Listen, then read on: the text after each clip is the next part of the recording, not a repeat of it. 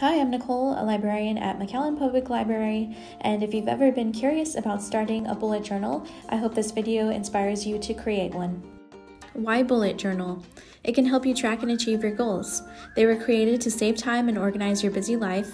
It breaks down your goals and tasks and allows you to focus in on achieving them. You can see your past and present tasks at a glance. It's a creative outlet. It's completely customizable and allows you to be creative. You can incorporate artwork, washi tape, hand lettering, or modern calligraphy. With so many deadlines and to do lists, a bullet journal is a convenient tool to organize it all. They also act as a journal to write down your thoughts and emotions to relieve stress and anxiety. Start with a blank journal. You can start a bullet journal at any point in the year. Leuchtturm 1917 journals are very popular for bullet journaling. You can use any fine tip pens, markers, and brush pens. The Leuchtturm 1917 is my personal favorite.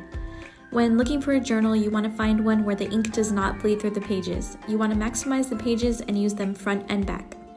Tombow dual brush pens are great for decorating and hand lettering, and Sakura Pigma Micron pens are great here are a few recommendations or ideas for pages in your bullet journal. Habit trackers help you stay on track and achieve your goals. It's a tool used to motivate you and build healthy habits. In addition to journaling, habit tracking is another main feature of bullet journaling.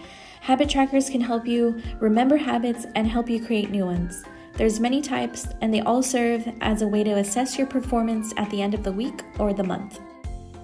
Habit trackers are a personal preference, but here are some recommendations self care, money and finance, healthy habits, and home habits.